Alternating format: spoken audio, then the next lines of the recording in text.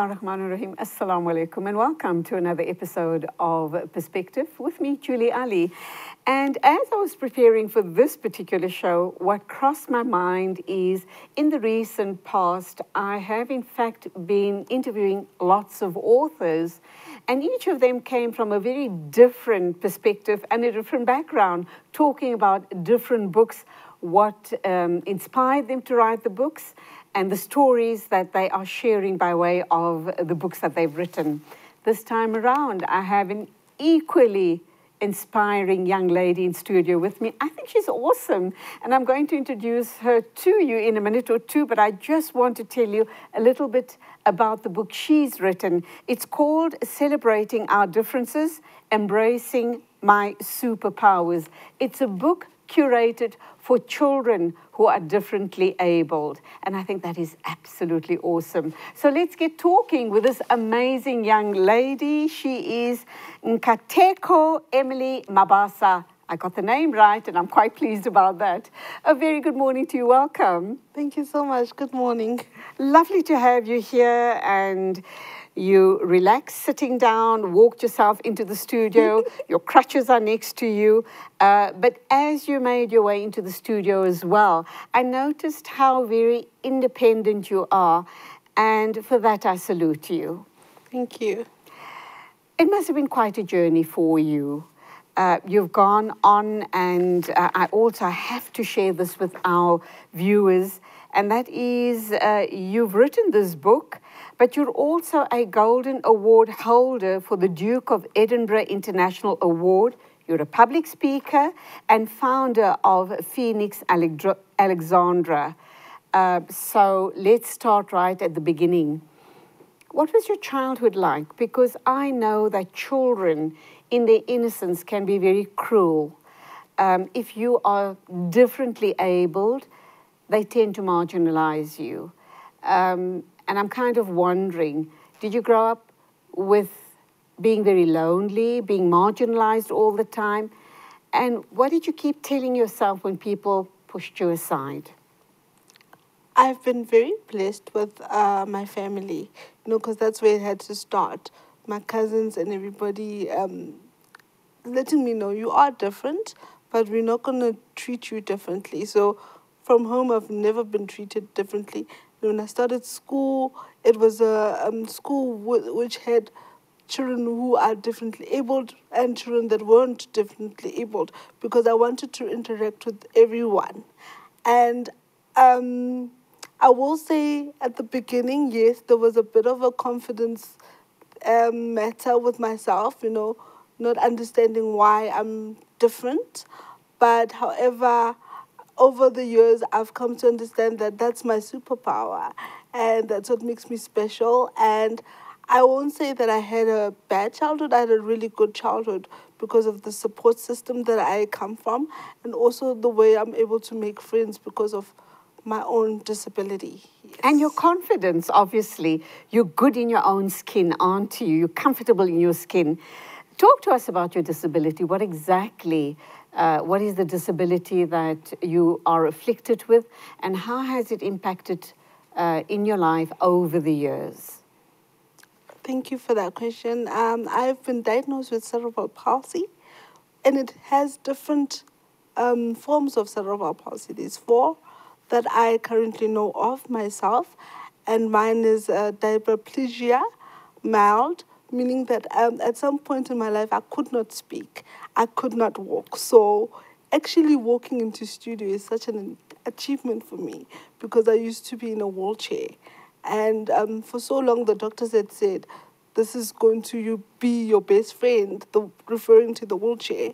And I said, no, I refuse to let that be the story that they wrote about my life.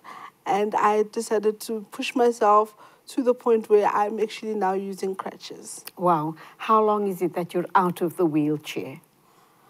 Sure. If maths doesn't fail me, I think I've been using crutches since I was 12. So now I'm 33. So it's been a long time. Wow. When you were growing up and uh, you were told that you have this disability, and I know that you have indicated you come from a very supportive, loving family, did you ever question or point fingers or ask your mother, why me? I have to be honest, I did. I, you know, being a teenager, you confused with all the other things, puberty and all of that. And I was angry at some point. And I had to kind of realize that nobody was at fault. And me carrying on being angry wasn't going to help me either. So um, that's when I started my journey of accepting who I was. And from there, it's been such a beautiful journey, realizing that actually accepting who I am as a whole and understanding that even though I might not look like everybody else, um, that is my superpower. Acceptance uh, is a lot of hard work. It doesn't happen overnight. Mm-hmm. Let's understand the type of self talk that went on in your mind about the acceptance of your situation. Okay, it it had to start way back when um, I, had my first operation, which was at the age of seven, and then the doctors had said, okay, um, this is going to be your life and whatever. And I said to them, but I want to learn to, like how to walk, just like my siblings, because I'm the youngest of my siblings. And they said to me, but it's impossible. And I said, let's try. So it started there with me wanting to try, and my family supporting me. And when I turned around 12 years old, um, the doctors had said I'm I'm scheduled for another operation, and I said no. And my parents supported me, and I realized actually my words hold power. The things that I say about myself are important, and therefore, if my parents are able to support me and listen to what I want, I can change this whole narrative or perspective of what the doctors think my life will be like. Yes. Was that a good move not uh, go- undergoing that operation at the age of 12? Had you had the operation, how do you believe your physical condition would have been different? Yes, I'm so grateful that I did have that bravery at that age to say no because I do have friends that have the same or similar condition and they were scheduled for second operations, which they have gone for, and some have turned out worse, and some are not the same in terms of mentally because it shifts a lot of things. And I'm so grateful that I only relied on my faith and belief that I'm going to rewrite what the doctors have already pre-written about me. Yes. At a tender age of 12, Yes. you had the firm belief that you can change your destiny. Yes. Where does that deep spirituality come from? it has to come from you know I, I i so believe that my parents and my family just instilled all of this you know faith and, and, and belief in me before long before i believed in myself and um, i'm a christian so that's where it happened and um, understanding that he had a bigger purpose for me and understanding that even though I might not know what is happening, I need to just trust the process. And I think with that understanding, that's why things have turned out so great. Wonderful. What do you believe is your bigger purpose? I mean, we're going to get to the uh, book in a short while because I think that is huge in itself. But what do you believe is your purpose in life? That's a beautiful question. Um, I believe that my purpose in life is to be the voice of people that cannot speak for themselves. And also just to show people that in our differences, there's so much beauty. We don't have to judge. We don't have to, you know, put people in boxes because growing up, I was told I need to act a certain way. You know, told you too loud, you too this, you too that, and and if I had let them dim my light, I wouldn't be where I am today. You know, I said, okay, you think my light is too bright? That's your problem. It's not my problem. You have to just deal with it yourself. So I think if people start realizing that we are all different, and just because you don't understand why the other person is acting the certain way, you should just be kind, is what I want people to remember kindness and understanding. We are going for our first ad break, and when we do come back, I want to talk some more about some of the challenges and some of the bad, difficult, awkward situations in your life. And then we'll go on to the book and all of your amazing awards. You are an amazing woman. I am really pleased to have you in studio with me today. Thank Her for name word. is Emily Mabaso. She's written this book. I'm going to hold it up to the cameras. And undoubtedly, throughout this interview, we will have the book flashing on screen. So please go out, buy the book. And even if you don't have a disabled person in your family, just begin to understand the journey of a person who is differently abled. Stay with us.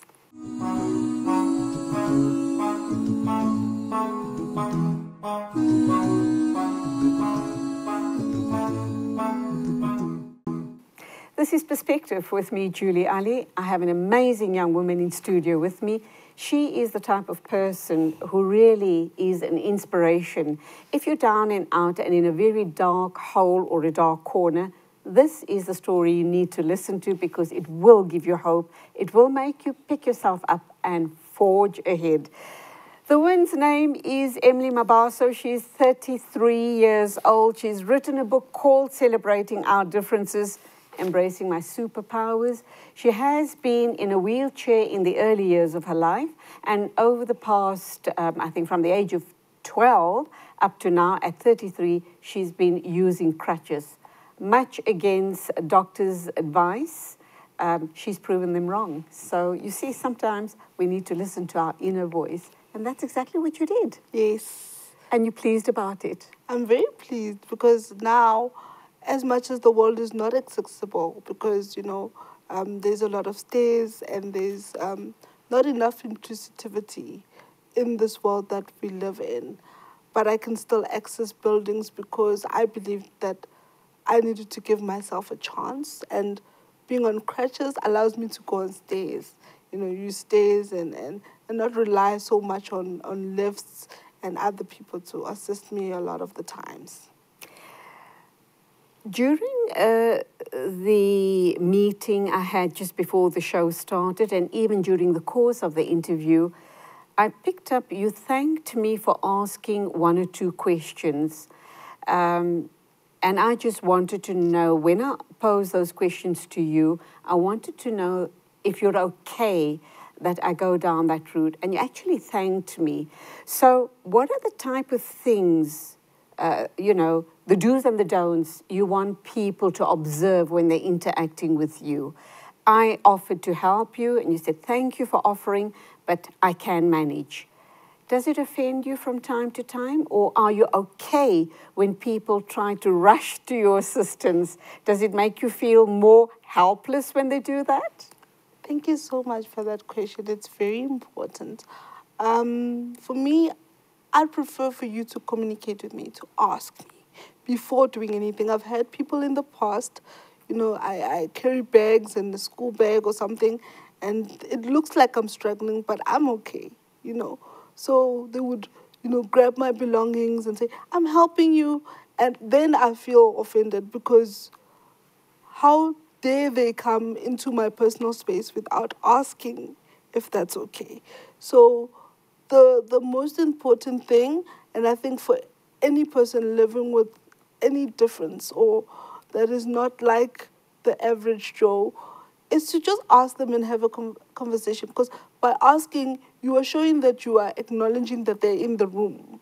But by you just grabbing their belongings, it's like you don't care about their own feelings and you want to do good. I understand people want to help. I understand you want to be kind, but there's a way you can approach it and not by intim- intimidating me. Because sometimes these people are big in size and you know, I'm petite and I'm like, is this person going to hurt me?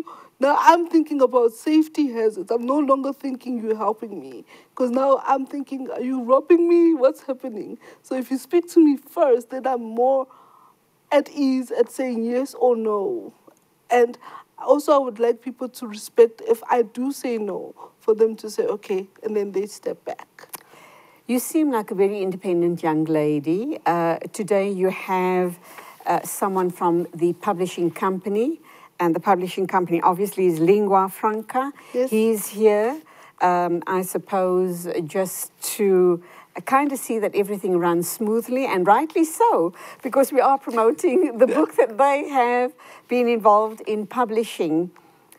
But what comes to mind for me, he's not here as a caretaker, he's just here to see that things does actually move along smoothly. Mm-hmm. I have a friend who had a, a disabled child, and in conversation, she said to me, What broke her heart many a times was when they went out in public, it was almost as if this disabled child in a wheelchair was invisible.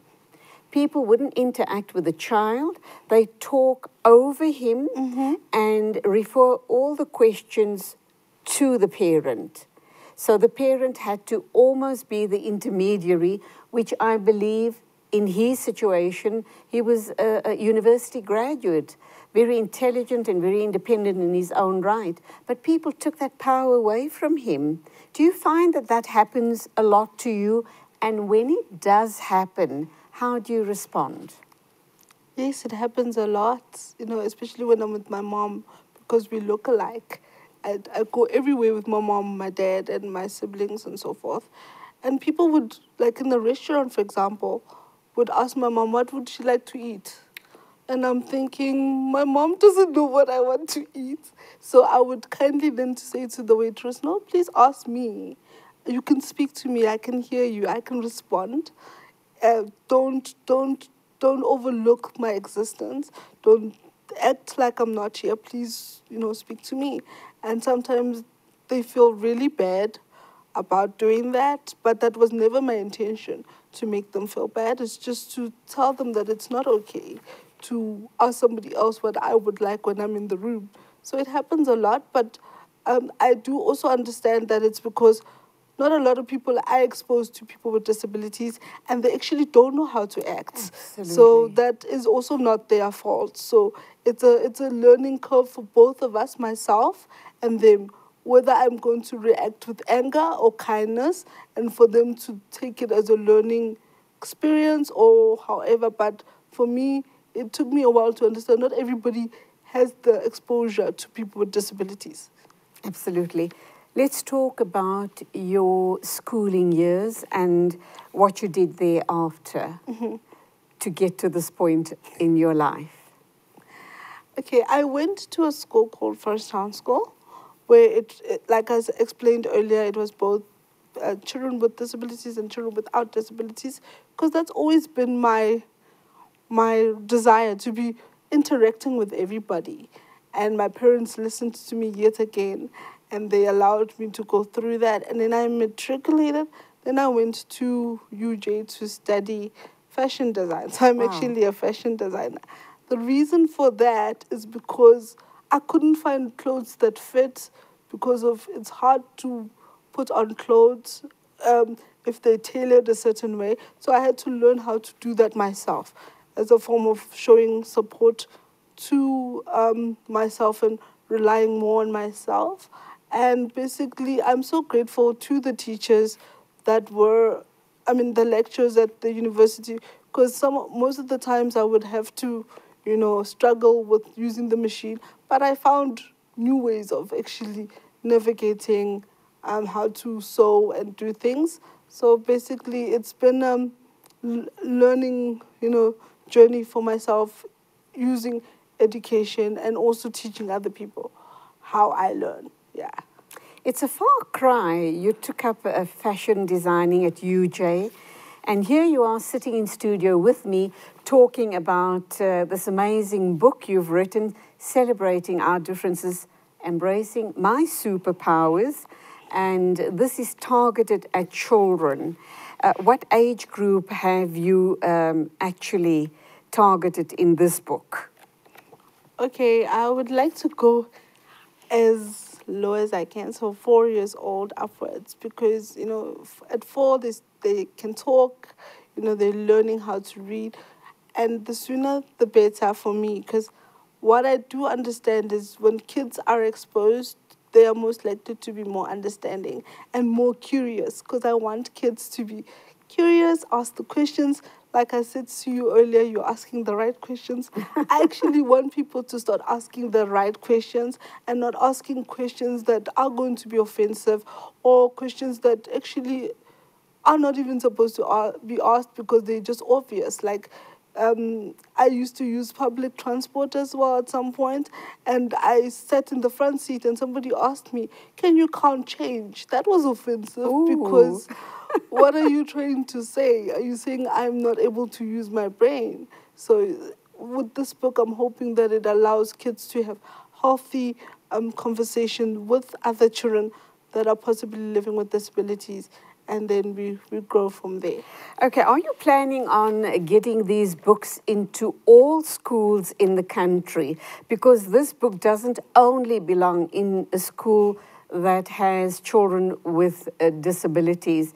Because if we can get this book into schools throughout South Africa, I think people will grow up being very respectful to people who are different to them and that we will be paying it forward by so doing. Uh, and I suppose this you'll have to pass by your publishers as well. Um, they are sitting in the room, so maybe they can take it back to the boardroom and see if this is doable. Yes. But having said that, let's just go back to my first question. Studying, you studied fashion design, and here you are having published your first book. Yes. That's that's that's a very big uh, uh difference. Mm. It's it's two totally different worlds. But before you respond to that, we need to go for our next, um, our next ad break. So when we come back, hold that thought and you can res respond to me thereafter. This amazing young woman is Emily Mabaso. She's written the book Celebrating Our Differences, Embracing My Superpowers, targeted at school children. But you know what? I've just skimmed through the book. It's not only for school kids, it's lessons for you and I as well. So when we go out into the world and we come across a person with a disability, this book will teach us how to interact with them in a very respectful manner. So please go out, buy the book, support a worthy cause, and get yourself knowledgeable in the process as well. Don't go away. We still have two more segments with the amazing Emily Mabaso.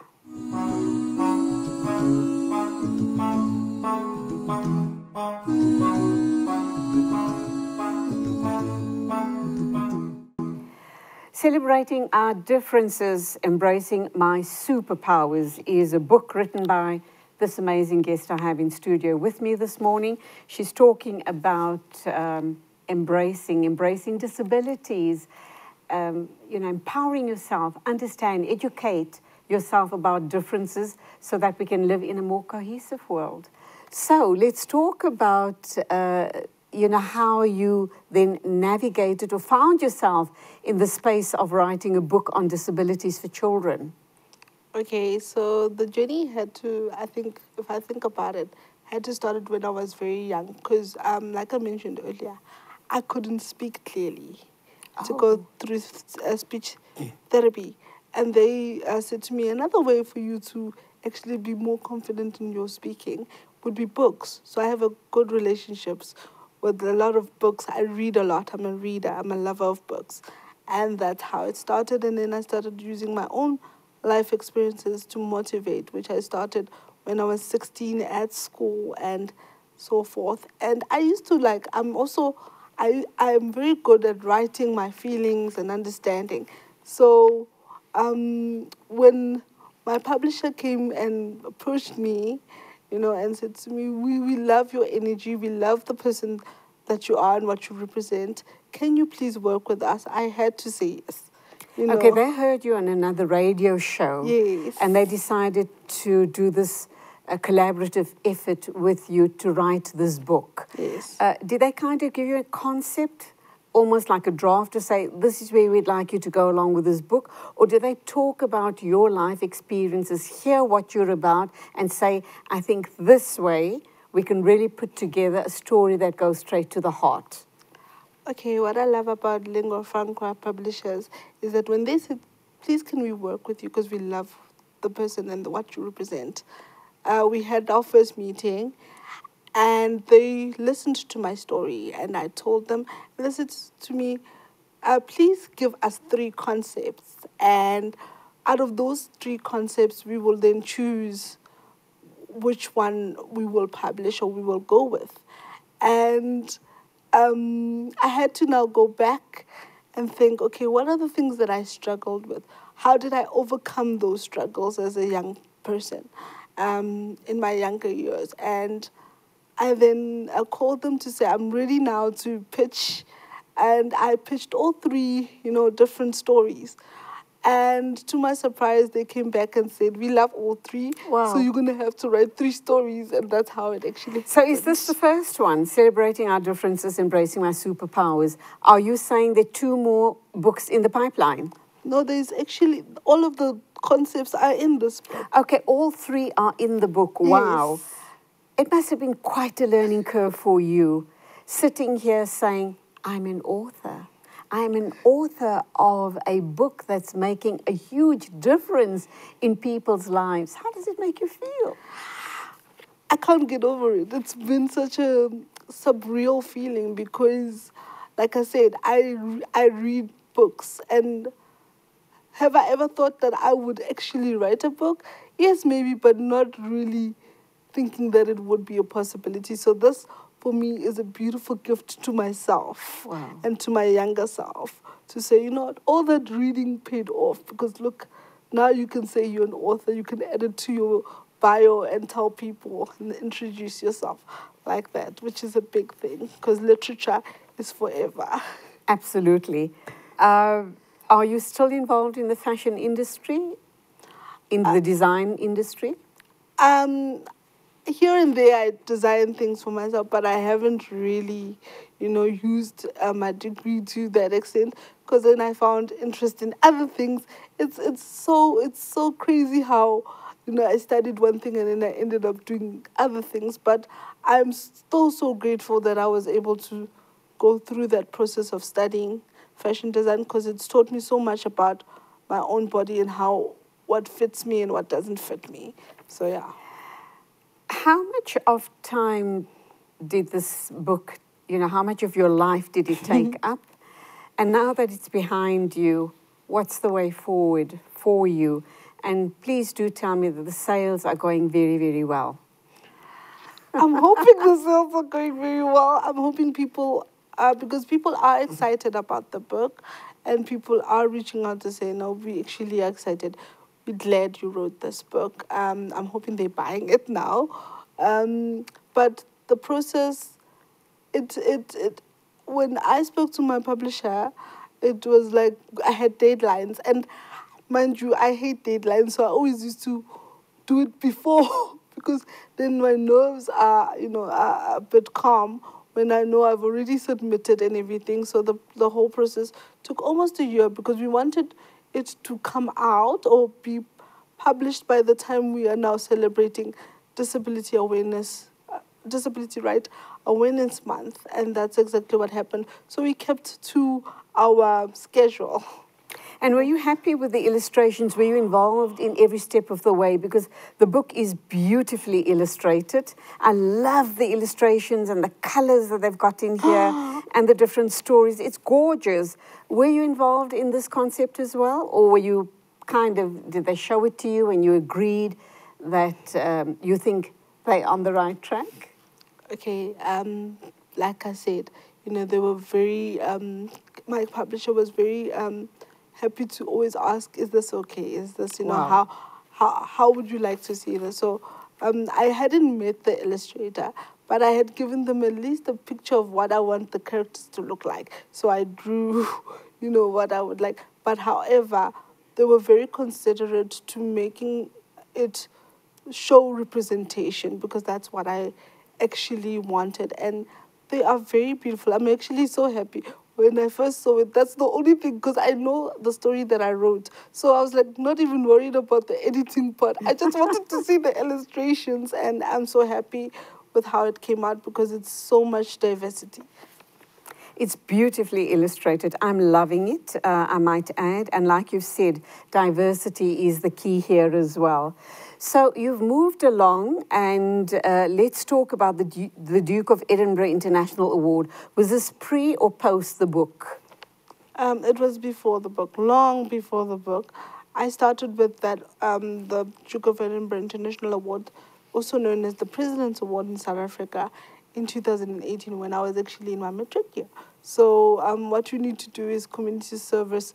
You need to learn um, how to do a new skill, and that skill that I learned was writing, and um, other skills as well.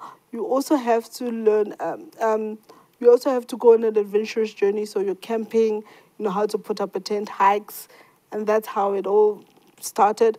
And the other component of this um, amazing award is that you you have to, you know, um, give give back to people, and that's what I loved about it. And I I was with them for five years as a participant, and now I just volunteer because um, I love what they stand for, and yeah, and then at the end you get this big celebration of you um, completing it. So there's the bronze, the silver, and the gold. So I've done all three levels, and the most challenging um, segment of all this um, of the award was doing the adventurous journey.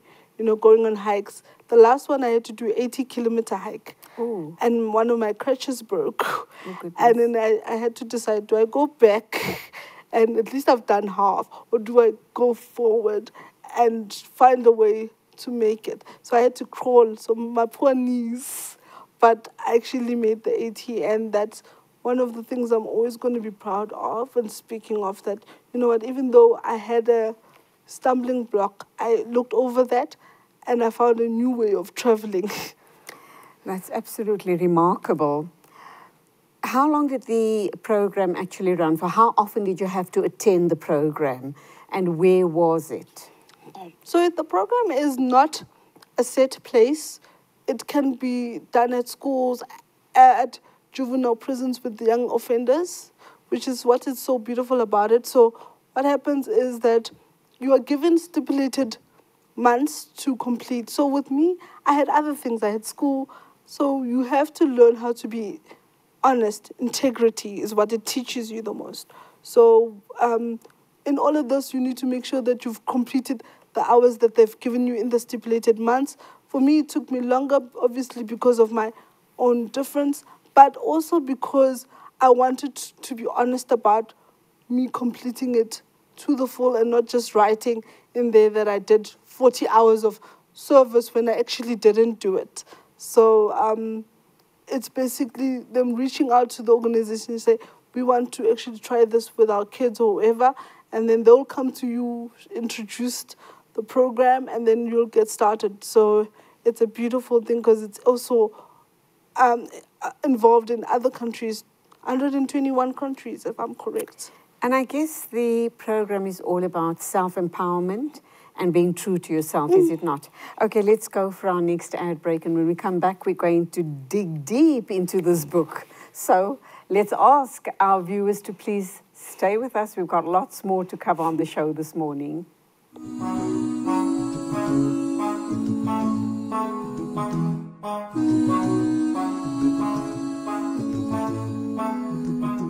Welcome back. We're into the final segment of the show this morning with this amazing young woman, Emily Mabaso, and uh, she's written this book called Celebrating Our Differences, Embracing Our Superpowers. It is published by Lingua Franca Publishers. Can you tell us a little bit about these publishers? You've had this long relationship with them. And for people watching us this morning thinking, they're the people I need to go to because I am writing this amazing book. What are they all about? They are um, black owned company, which um, they, they want to bring back the culture of reading in young kids, you know, the love of reading.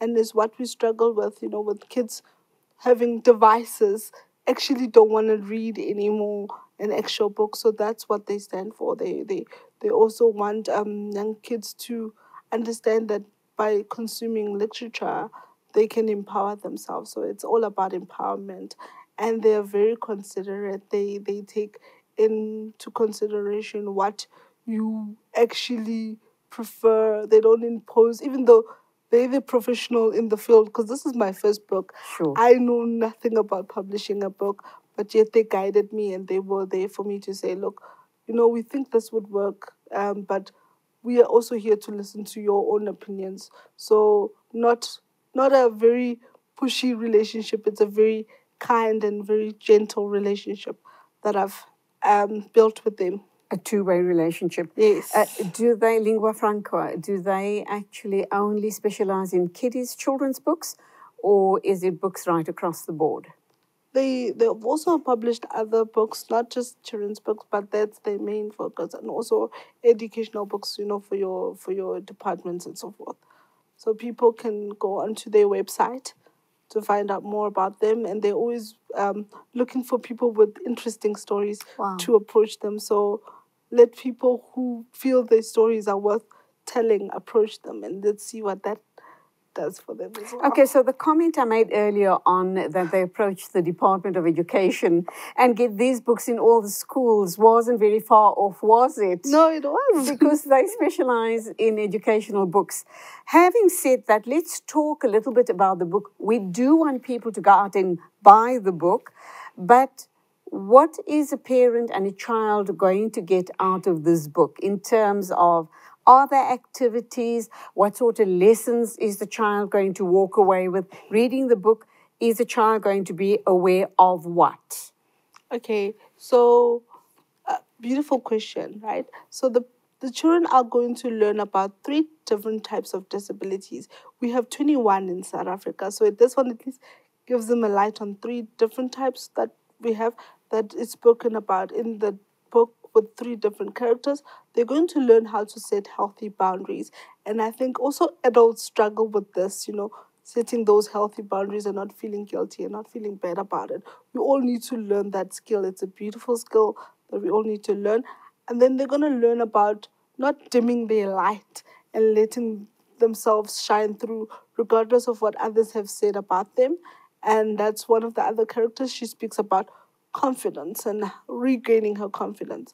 And the other one also speaks about fighting for others, you know, uh, being an advocate for other people and saying no to discrimination. Because I think a lot of the times you we are put into rooms and uncomfortable things happen and we all decide to keep quiet. But we need that one person to say no this is not right you know and that's what they will learn to speak up when things are not correct and are not properly done so i believe that's what the children are going to learn Is there a next book in the pipeline with Emily Mabaso and Lingua Franca? And what will that story look like? I'd love to write another book because the, the, the, the um, journey was pleasant. It was a learning curve for me. I had to really dig deep inside myself. Um, we'll see. I hope, yeah, I hope my publisher's listening so we can, we can see how we can do that. But let's see how, also how people perceive or receive the book. That's why we need them to go buy it so that you know we can get another set of books out if possible. Yes. Let's talk about the Phoenix Foundation, Phoenix Alexandra. You come from the township of Alexandra, which is Yes. literally around the corner from the studios. What is the foundation all about? So the foundation is all about creating a, a society that is inclusive, that helps kids understand their own abilities. So I use dancing. One thing that I didn't mention is also I'm a dancer. So, you know, I teach them dancing. I teach them the love of reading because we have a reading club and acting. So they will write down scripts and then they will act out. So, like some of the dramas are speaking about, don't have discrimination against other kids. So, I use art as a form of um, teaching them life lessons through the foundation. And it's been such a beautiful journey because I started straight after I had actually lost my corporate job in 2020. You lost your corporate job? Were you fired or did you decide to walk away? Uh, I was retrenched because of COVID. Ah, you know, I was one of the people like you are. They they decided that for me. They're like you are going to be in more danger because you've got a disability. They thought I was going to be um, contracted first, and I didn't contract it at all. Thank God for what that. was your co- uh, uh, corporate job? What were you doing there? Okay, I was a quality assurance analyst. So you know the people that listen to calls. You know this call is recorded. All of that. I'm one of those people that Okay. listens to those calls and make sure that what you are told as the client is correct to what the company is offering. So I am fluent in about seven South African languages, and that's why I took up that job because it needs you to be fluent in a lot of the languages. How did you feel about being asked to, uh, t you know, to step down? And now that it's post COVID, any ideas or any thoughts about going back into corporate? Or have you made a totally different space for yourself? I've made such a total different space for myself. I'm I I totally love the fact that I started Phoenix in the in the midst of all that that I was going through, and I cannot see my life without it now. You know, the kids that come to me and learn so much, I learn so much from them, and me going back into a corporate space would only mean that I have to give that up. And I wouldn't have the, had the chance to actually write the book because you know working um, for yourself or doing other things outside of corporate gives you more free time and that's what I've gained and I would not give that up. So I'm actually glad they let me go in a way I didn't understand then but now I understand. It was a blessing in disguise, was it not? So, um, Phoenix Alexandra is an NPO. Yes. Does that also mean it operates 24 7? Um, so we do have operating hours from eight to five during the week, and from nine to three uh, on a Saturday. On Sunday, we don't operate unless they have to go out and perform. Because remember, I said I teach them how to dance, so we need to get them performances and for them to be exposed to different places. You know, most of the kids are from Alex and they've never been outside of Alex. So this one time I took them to Pretoria and that was such an experience for them. I got so emotional because I never thought just taking somebody to Pretoria would actually change their life. So yeah, that's basically why I do it. Undoubtedly, lots of work ahead of you, um, touching lives in a positive way, making a difference in these little kids' lives. How many children do you take through at the foundation at Phoenix? Do they stay with you for long periods? Do they come in regularly? And what are the age groups that you cater for? Okay, the age groups are from well, I have a four year old because she's like, I want to join. I'm not gonna wait until I'm six, but it's actually from six to seventeen and young adults. They um, most of them go to school, and if they don't go to school, we try to get them into a school so that they get their education because education is important. And then they come to me after school so that they are safe because most of the parents work until like the late evening hours and so forth. So um, and then we get to do all these activities with them, and then they go home. Uh, we don't have kids that actually stay with us, but however, we do have kids that are orphans that live with their grandparents. But however, it's been such a beautiful journey otherwise. How many kids do you accommodate at any given time? Um, at the moment, I have 22 that are permanent, and then the others just come during school holidays. So, all in all, it's 40 kids that we cater for at the moment. And you provide snacks? Yes, sometimes. Yes. All right. Uh, you're not going to believe this, but we have two minutes to wrap up time very quickly. Uh, where to from here for Emily Mabaso and your thoughts on gender based violence? My thoughts on gender based violence, it's not very good. You know, both ways, you know, whether it's a woman abusing a man or a, wom- a man abusing a woman, it shouldn't be like that because we should show each other love and kindness. Um, basically, for me, going forward, I'm open to whatever the universe wants me to do. I'm not about to say no to anything anytime soon. So, yeah, that's Please, all. God, yes. Uh, just in closing, I'd like to mention something. Would you agree with the uh, thinking that uh, people with disabilities are soft targets regarding GBV issues?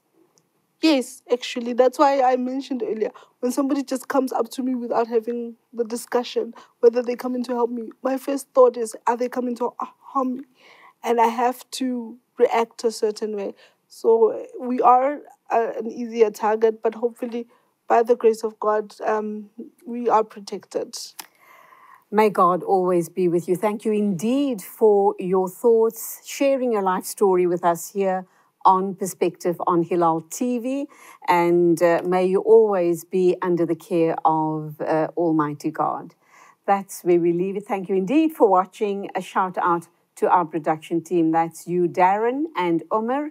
Lovely being in the studio yet again. And till the next time, as always, stay safe.